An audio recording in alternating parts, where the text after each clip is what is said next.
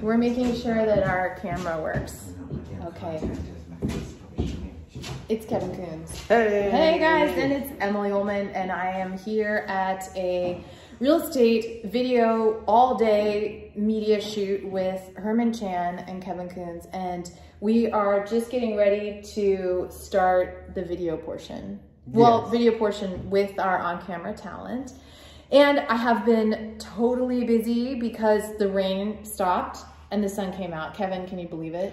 I'm so happy that we got sunshine finally. It's like, let's go and get it. All the work has to be done before the rain comes again.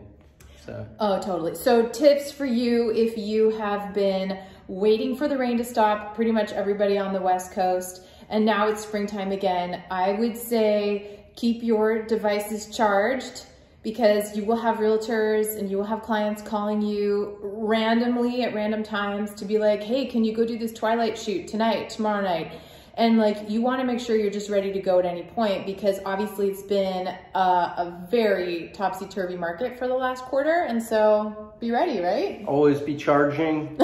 that's that's the role. If you're not always charging, then you're draining. You're draining, exactly, Yeah. you're draining. And your devices don't like that. Those lithium ba- batteries, they don't like that. Um, what else, what other tips do we have for people? Um, Mm, wake up early when it's sunny.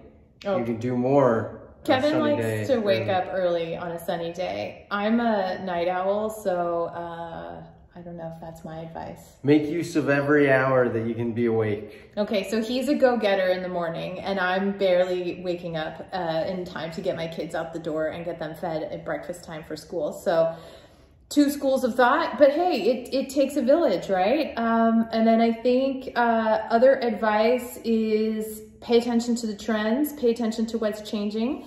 Uh, in case your clients want something new, like we're going to be doing a new video format today because nobody wants to do the same old, same old. And I think that's really my takeaway. You gotta switch it up. Just like if you're a pitcher, you could throw the best pitch in the world.